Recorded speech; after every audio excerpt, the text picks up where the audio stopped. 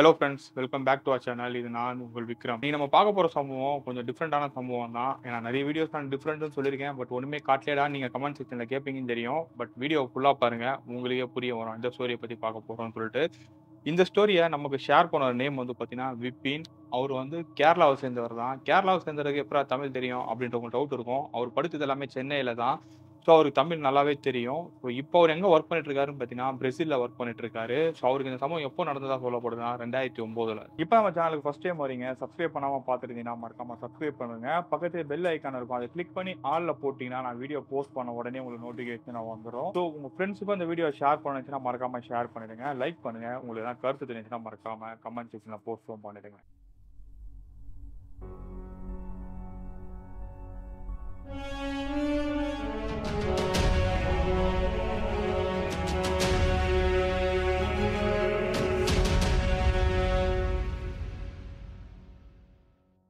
விப்பினோட family வந்து ரொம்ப ஏழ்மையான ஃபேமிலி அவங்க வீட்டில் வந்து சாப்பாடுக்கே கொஞ்சம் கஷ்டப்பட்ட அந்த அளவுக்கு தான் வந்து அவங்க குடும்ப நிலைமையும் இருந்துட்டு இருக்கு ஆனால் அவங்க அப்பா வந்து எப்படியாவது பையனை படிக்க வச்சிடணும் அப்படின்னு சொல்லிட்டு தான் சென்னைக்கு அனுப்பியிருக்காரு.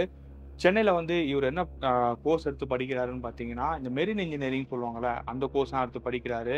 அது படித்து முடித்தோடனே அவருக்கு வேலையும் கிடைச்சிருது. ஸோ வேலை கிடைச்சதுக்கப்புறம் அந்த கம்பெனிலே இவருக்கு வந்து ஒரு ரெண்டு மாதம் ட்ரைனிங் கொடுக்குறாங்க. ஸோ ட்ரைனிங் கொடுத்துட்டு அங்கேருந்து இவரை வந்து ஷிப்புக்கும் அனுப்புகிறாங்க ஷிப் எங்கேருந்து கிளம்புதுன்னு பார்த்தீங்கன்னா மும்பைலேருந்து கிளம்புது. ஸோ இவர் சென்னையிலேருந்து மும்பைக்கும் கிளம்பி போயிடுறாரு.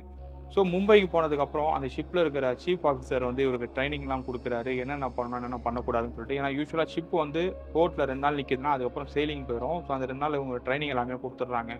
ஸோ கொடுத்ததுக்கப்புறம் இவரோட ஷிப் டைமிங் என்னன்னு சொல்கிறாங்கன்னு பார்த்தீங்கன்னா சாயங்காலம் ஆறுலேருந்து மறுநாள் காலை அஞ்சு மணி வரைக்கும் சொல்கிறாங்க ஸோ ஒரு வாரத்துக்கு வந்து இவரோட ஷிஃப்ட் டைமிங் எப்படி இருக்குன்னா ஆறுலேருந்து அஞ்சு மணி வரைக்கும் அதுக்கப்புறம் வந்து ஒம்பது மணிலேருந்து ஸ்டார்ட் ஆகும் அப்படின்ற மாதிரி சொல்லியிருக்காங்க. ஏன்னா ஸ்டார்டிங்கில் கொஞ்சம் ரிலாக்ஸாக வேலை பார்க்கணும் அப்படின்றதுக்காக அந்த டைமிங் எக்ஸ்டெண்டும் பண்ணியிருக்காங்க.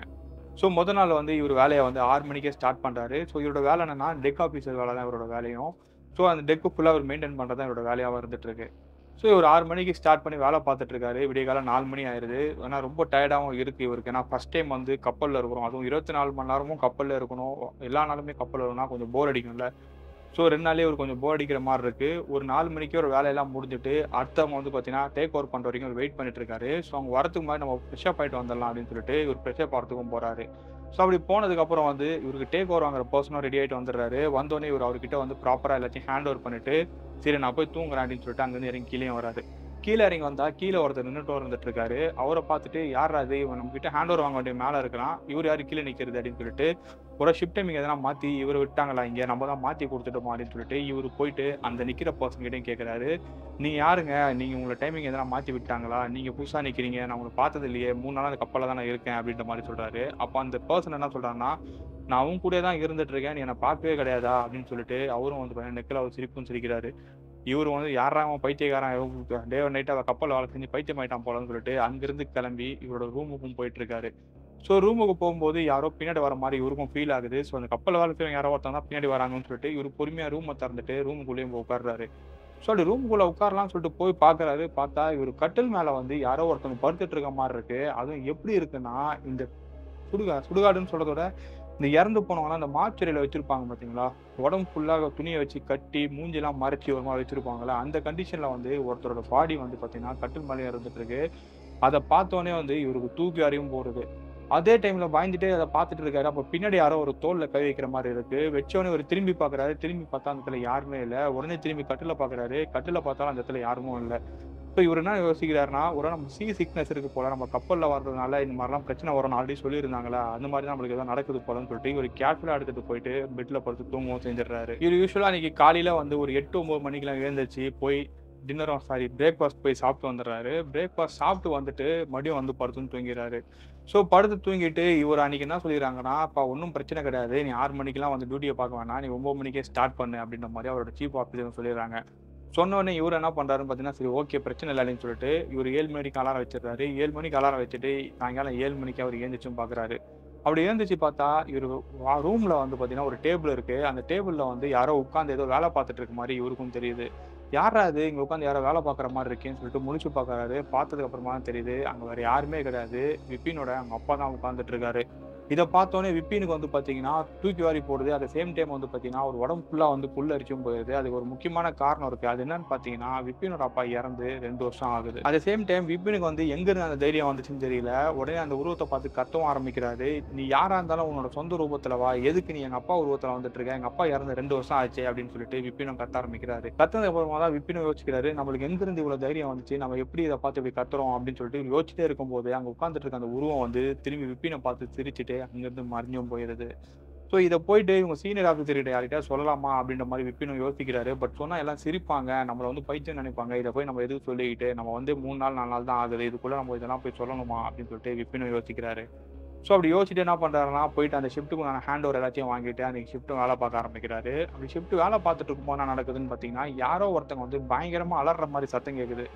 எங்கேருந்து அலற சத்தம் கேட்குதுன்னு சொல்லிட்டு இவர் போய் பார்க்குறாரு அங்கே போய் பார்த்தா அந்த உள்ளே வந்து ஒரு டக்ட் இருக்குமா இன்ஜின் ரூம்குள்ளே அந்த இன்ஜின் ரூம் போல போகிற டக்ட்டுக்குள்ளே வந்து யாரோ ஒருத்தவங்க மாட்டிட்டு இருக்க மாதிரியும் மாட்டிட்டு உடம்பு ஃபுல்லாக ரத்தமாக இருக்கிற மாதிரியும் இவருக்கு தெரியுது.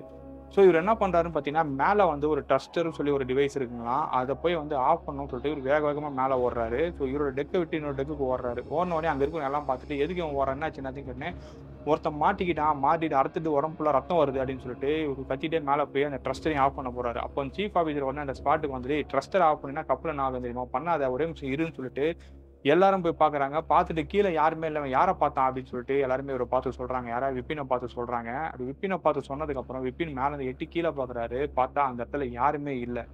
ஸோ அங்கே இருக்கிற சீஃப் ஆஃபீஸர் என்ன பண்ணுறாருனா விப்பினை தொட்டு பார்த்துட்டு உங்களுக்கு ஜுரம் அடிக்குதுடா போய் ஒழுங்காக படு. வந்து கொஞ்ச நாள்லேயே வந்து இந்த மாதிரியான பிரச்சனைகள் வரதான் செய்யும். போய் நீ ரெஸ்ட் எடு. நான் வேறு யாரும் உன் டியூட்டியை பார்க்க சொல்கிறேன்னு சொல்லிட்டு சீஃப் ஆஃபீஸரும் வந்து விப்பினை வந்து அனுப்பிடுறாங்க. ஸோ விப்பின் என்ன செய்யறாருன்னு பார்த்தீங்கன்னா ஒரு ரூமுக்கு போய் படுக்கலாம் சொல்லி போகிறாரு போய் பெட்ரூமில் படுத்துட்டு இருக்கும்போது என்ன ஆகுதுன்னா மறுபடியும் யாரோ கதவு தட்டுற மாதிரி இருக்கு. யாரா கதவு தட்டுறாங்கன்னு சொல்லிட்டு ஒரு இறங்கி கதவு திறந்து பார்க்குறாரு. பார்த்தா அங்கே அடி ஒருத்தன் பர்சன் அடிபட்டிருந்தான் பார்த்தீங்கன்னா அந்த பர்சன் வந்து அந்த இடத்துல நிற்கிறான் நின்னது மட்டும் இல்லாமல் நீ என்ன தானே தேடிட்டு இருந்த? நான் இங்கே தான் இருக்கிறேன். நீ என்ன இங்கே இங்கே விட்டு எங்கேயோ போய் தேடிட்டு இருக்க.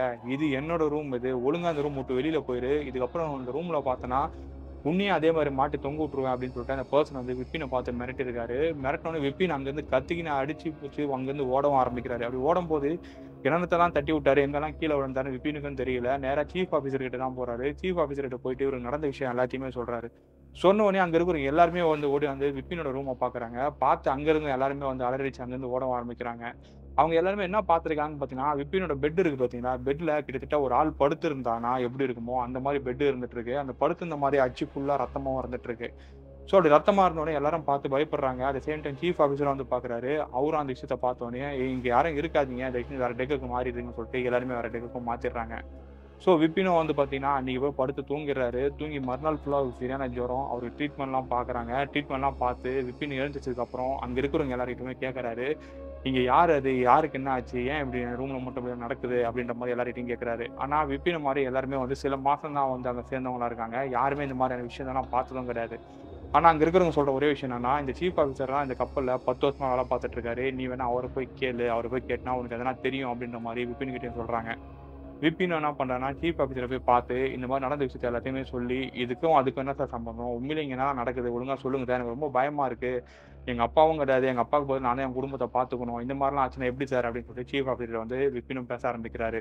அப்போ சீஃப் ஆஃபீஸர் என்ன சொல்கிறாருன்னு பார்த்தீங்கன்னா நீ இருக்கிற அதே ரூமில் வந்து ஒருத்தன் இருந்தான். அவன் கிட்டத்தட்ட ஒரு ஆறு மாதத்துக்கு முன்னாடி இறந்தும் போயிட்டான்.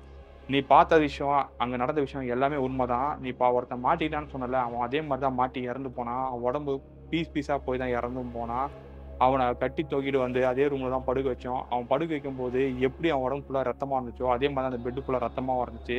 அதுதான் அன்றைக்கி நான் கண்ணாலும் பார்த்தேன். எனக்கு பார்த்ததுக்கப்புறம் எனக்கு தெரிஞ்சு போச்சு இது அவனாக தான் இருக்கும் அப்படின்னு சொல்லிட்டு. அதனால தான் எல்லாருமே நான் வைக்கட்டும் பண்ண சொன்னேன் அங்கிருந்து. ஏன்னா இதுக்கு முன்னாடி ரெண்டு மூணு வாட்டி வந்து எனக்கு சிம்டம் தெரிஞ்சிருக்கு. அவனை மாதிரி நான் பார்த்துருக்கேன். ஆனால் வந்து என்னோட பிரம்ம நினச்சி நானும் விட்டுட்டேன். ஆனா இப்போ உனக்கு நடந்ததை நினைக்கும் போது தான் எனக்கே பயமா இருக்கு. உடனே இந்த கப்பலை வந்து பாத்தீங்கன்னா வேற போட்டுக்கு போன உடனே இதுக்கான விஷயங்கள் எதனா வந்து பண்ணி ஆகணும் அப்படின்னு சொல்லிட்டு சீஃப் ஆஃபீஸர் சொல்லியிருக்காரு.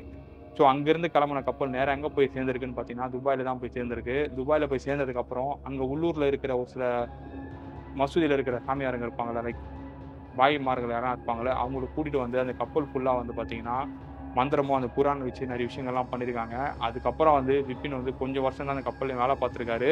அதுக்கப்புறம் இப்போ வந்து பிரேசிலில் ஒரு கமு பிரேசில் கண்ட்ரி இருக்குல்ல அந்த கண்ட்ரியில் வந்து பார்த்தீங்கன்னா ஒரு கம்பெனியில் சேர்ந்து அந்த கம்பெனியில் இருக்கிற கப்பலில் தான் வேலையும் பார்த்துட்ருக்காரு. இப்போ வந்து பார்த்தீங்கன்னா அவர் கேப்டனாகவும் இருந்துகிட்ருக்காரு ஸோ இந்த ஸ்டோரி என்கிட்ட ஷேர் பண்ணும்போது எனக்கே கொஞ்சம் ஷாக்கிங்காக தான் இருந்துச்சு. ஏன்னா கப்பலில் வீட்டில் வெளியில் எங்கன்னா நடந்துட்டா கூட வேற எங்கன்னா போய் ஒழிஞ்சிக்கலாம் பட் கப்பல்ன்றது வந்து பார்த்தீங்கன்னா ஒரு குறுகிய இடம் தான்.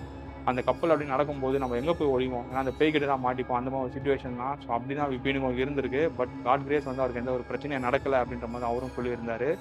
ஸோ இந்த ஸ்டோரி உங்களுக்கு பிடிச்சிருந்தா உங்கள் ஃப்ரெண்ட்ஸுக்கும் ஷேர் பண்ணுங்கள் லைக் பண்ணுங்கள் உங்களுக்கு எதனா கருத்து தெரியும்னு வச்சுன்னா மறக்காமல் கமெண்ட் செக்ஷனில் போஸ்ட் பண்ணுங்கள் நெக்ஸ்ட் ஒரு இன்ட்ரெஸ்டிங்காக ஆகிட்டு பார்ப்போம் ஸ்டே டியூன் பாய்